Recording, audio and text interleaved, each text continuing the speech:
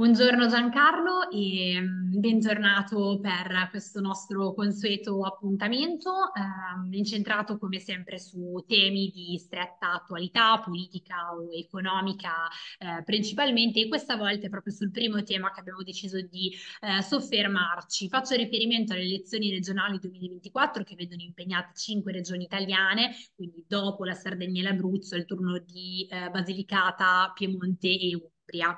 Eh, direi delle elezioni regionali piuttosto divisive. Eh, vorrei introdurre così questo argomento perché eh, sicuramente eh, c'è da dire che, come sempre, mettere insieme e tenere insieme delle ventate politiche diverse, delle ispirazioni, anche solo con sfumature differenti, eh, non è poi così scontato, così facile né immediato. Eh, quindi, insomma, ci sono stati un pochino di dietrofront, di indecisioni, ehm, di rallentamenti eh, su, sulla tabella di marcia. Eh, le coalizioni mh, non sono del tutto in crisi, direi, però insomma ci sono stati eh, un pochino quasi di battibecchi interni. Eh, e quindi da un lato c'è la sinistra che arranca, dall'altro c'è il centrodestra che si trova si scopre fragile, quantomeno instabile, indeciso. Eh, penso insomma a quanto è successo in Sardegna, che in qualche modo è stato un po' un, un colpo per eh, il, eh, lo schieramento al governo.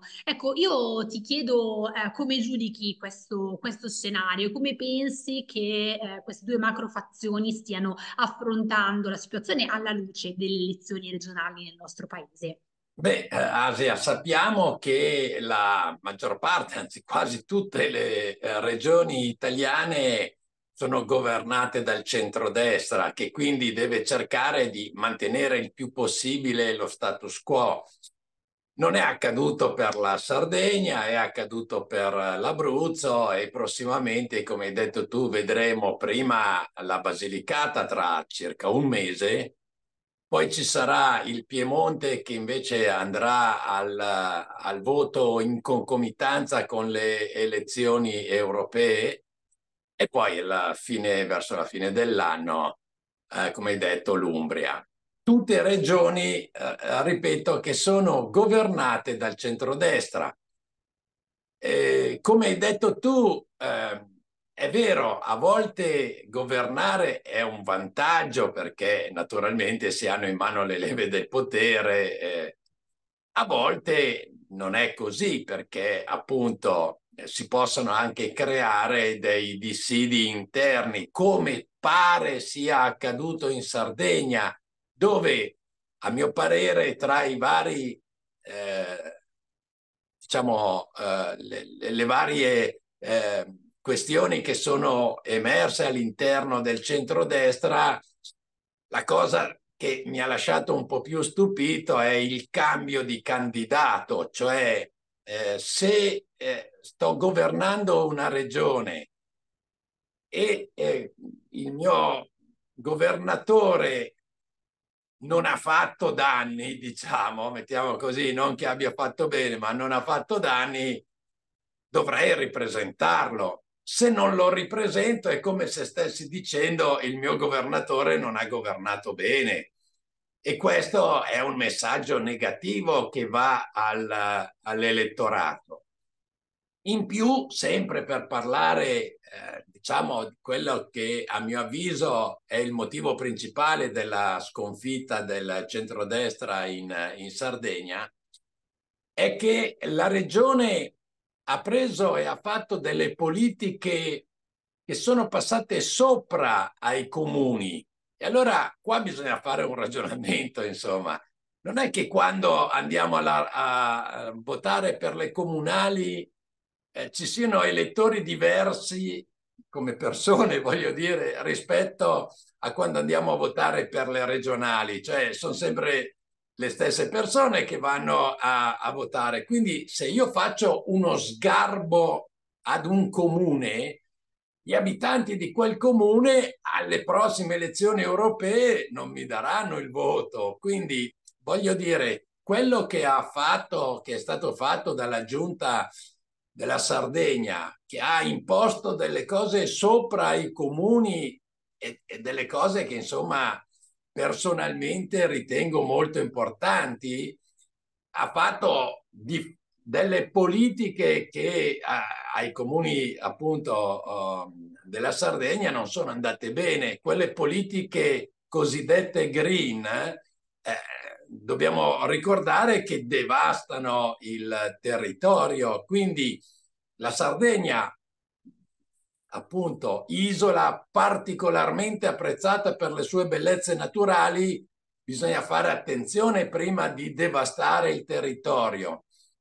E questo quindi ritengo che sia il, il principale eh, diciamo, motivo per il quale poi il centrodestra non è riuscito a confermare eh, il, il proprio governatore. Poi dobbiamo parlare anche del centrosinistra che in Sardegna è riuscito a rimanere unito ed è chiaro che quando il centrosinistra riesce ad essere, a rimanere unito, può essere un'alternativa, mentre se eh, non c'è questa unione ovviamente non c'è storia. Quindi in, in Sardegna è riuscito ad essere unito. La stessa cosa l'ha fatta in Abruzzo, solo che in Abruzzo non erano stati fatti gli stessi errori che erano stati fatti in Sardegna. Quindi in Abruzzo si è eh, riproposto il governatore uscente.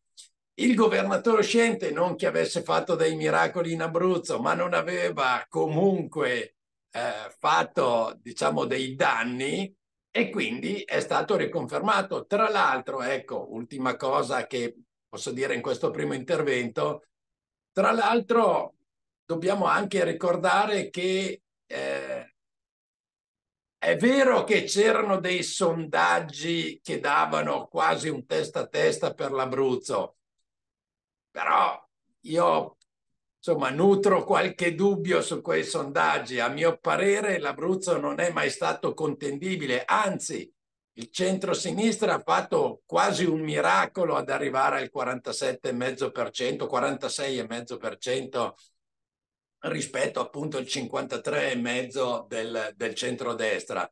Quindi io lo ritengo un risultato eccellente per il centro-sinistra che però ovviamente non è stato sufficiente perché bisogna superare il 50%. Quindi queste sono, diciamo, la mia analisi per le due, eh, le due elezioni che già ci sono state, cioè quella in Sardegna e quella in, in Abruzzo. Vedremo, ecco, poi eh, cosa accadrà per quanto riguarda in, a breve la Basilicata, ma poi anche Piemonte ed Umbri.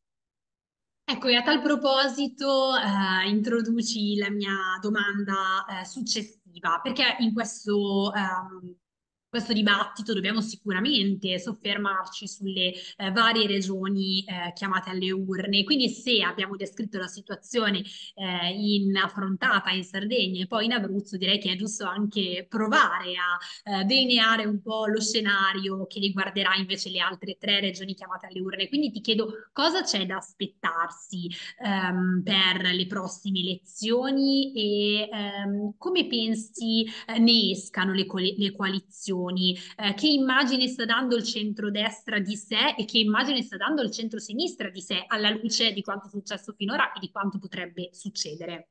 Allora, eh, dobbiamo pensare che eh, rispetto a cinque anni fa, cioè alle elezioni appunto regionali di cinque anni fa, la situazione politica in Italia è cambiata. Di conseguenza il centrodestra è completamente eh, sconvolto, cioè sconvolto nel senso eh, buono, nel, nel, senso elettoralmente.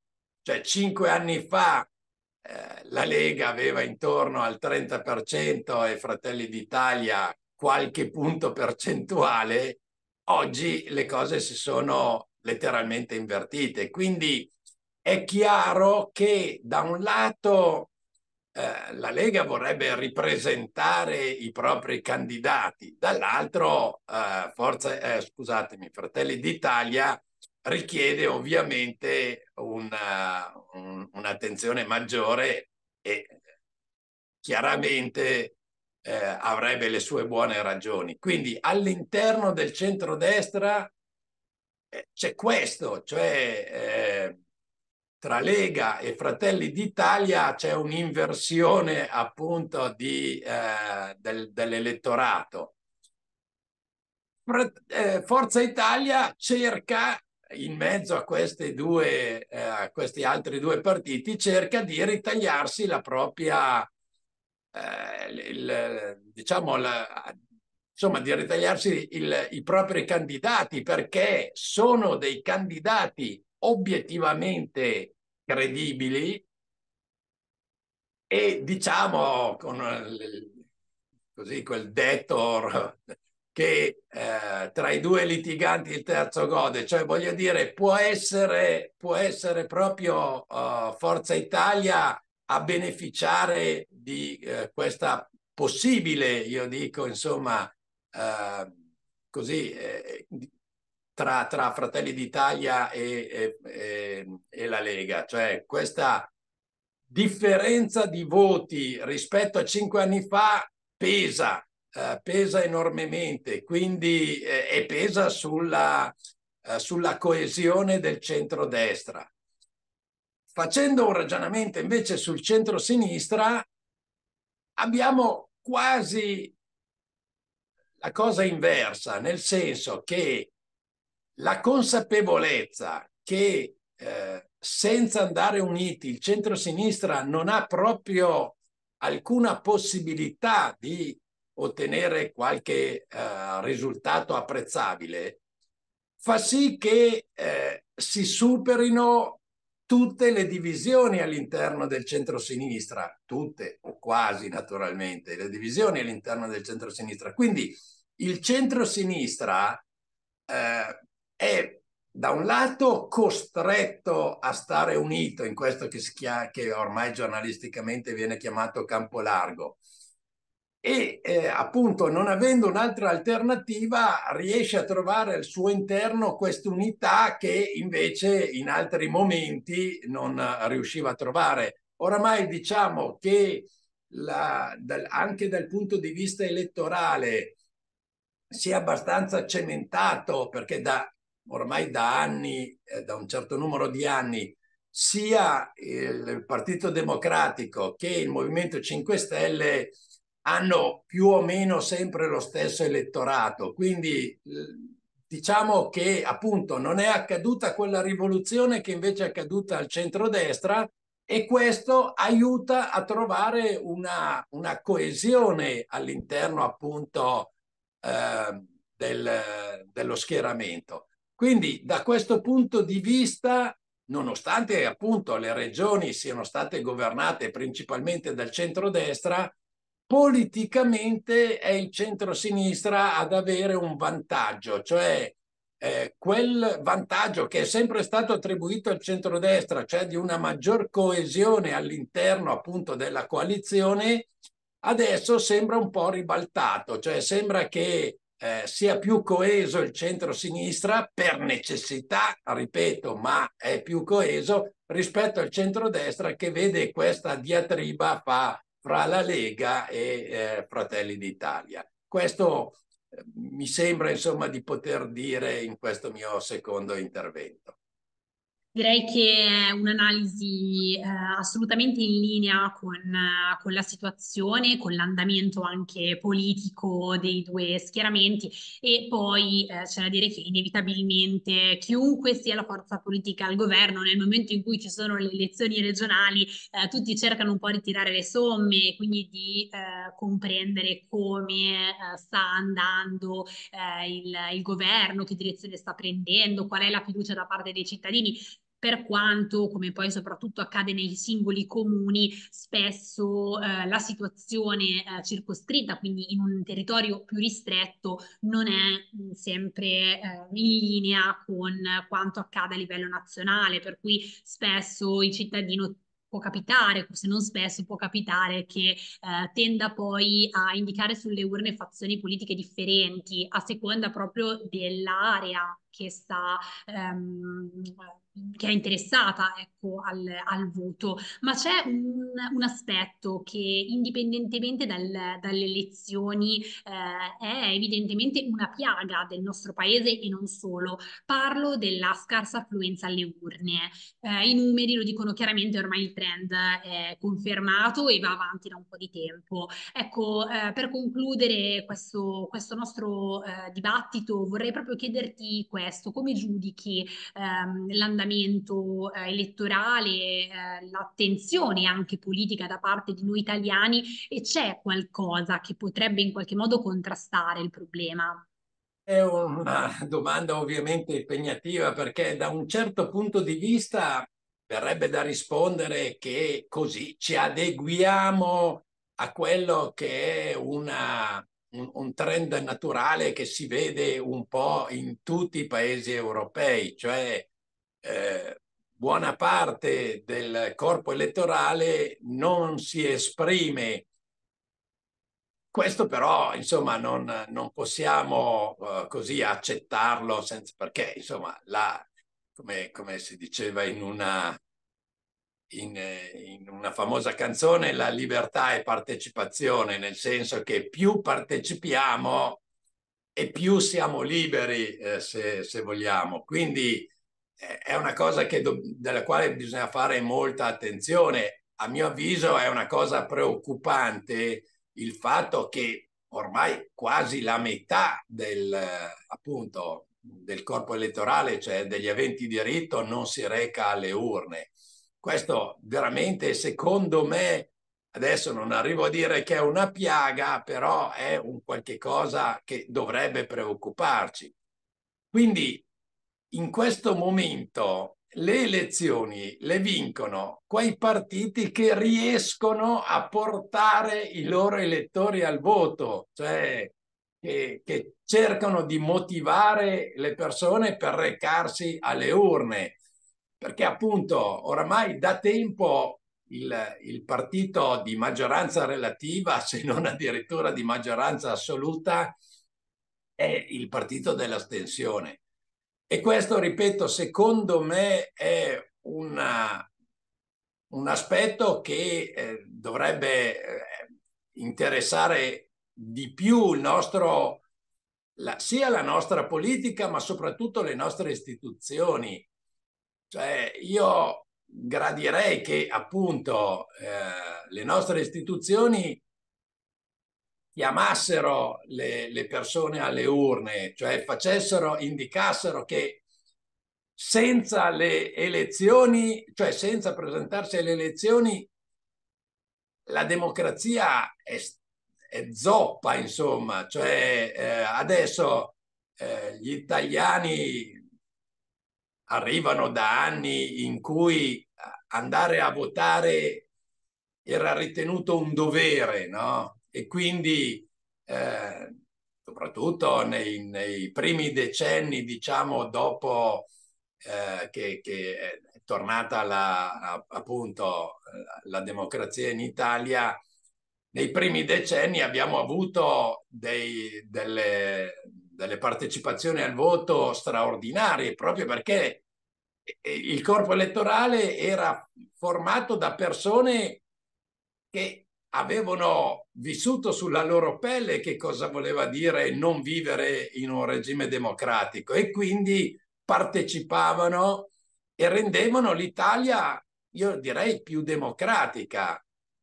Perlomeno tutto questo è durato fino alla Prima Repubblica, quando in Italia avevamo una legge elettorale totalmente proporzionale e che quindi permetteva a tutti i partiti che eh, si presentavano alle elezioni di essere poi rappresentati in, eh, in, in Parlamento. Quando siamo passati al maggioritario mettendo una soglia di sbarramento, è chiaro che partiti piccoli non sono più riusciti ad entrare in Parlamento. Questo ha creato, diciamo, un vulnus che ha portato poi sempre più italiani a ritenere che il proprio voto non poteva cambiare le cose. E quindi eh, questa astensione qua, che ripeto, a mio avviso è assolutamente da combattere, quindi cerchiamo di dire agli italiani che esprimere il proprio voto è sempre un, un segnale di libertà e di democrazia, cose che dovremmo cercare di salvaguardare ovviamente perché sono le cose più importanti di uno Stato. Mi aggiungo a questo tuo appello, a questo tuo messaggio, perché sicuramente eh, farsi in qualche modo portavoce in prima persona di un proprio pensiero, di una propria opinione, eh, significa da un lato libertà e dall'altro tutela della democrazia, quindi eh, direi che sono eh, pienamente d'accordo e quindi insomma staremo un po' a vedere quali saranno i prossimi eh, andamenti, eh, sperando, anche se probabilmente bisognerà pazientare eh, ancora un po' in un cambio di rotta. io Giancarlo ti ringrazio come sempre per le tue analisi, le tue descrizioni elezioni eh, staremo appunto a, a vedere eh, cosa sceglieranno gli italiani eh, in, a questo punto Piemonte, eh, Umbria e Basilicata. Grazie, come sempre ti do appuntamento al nostro prossimo incontro. Grazie a te Asia e come di consueto un saluto a tutti gli ascoltatori. Alla prossima.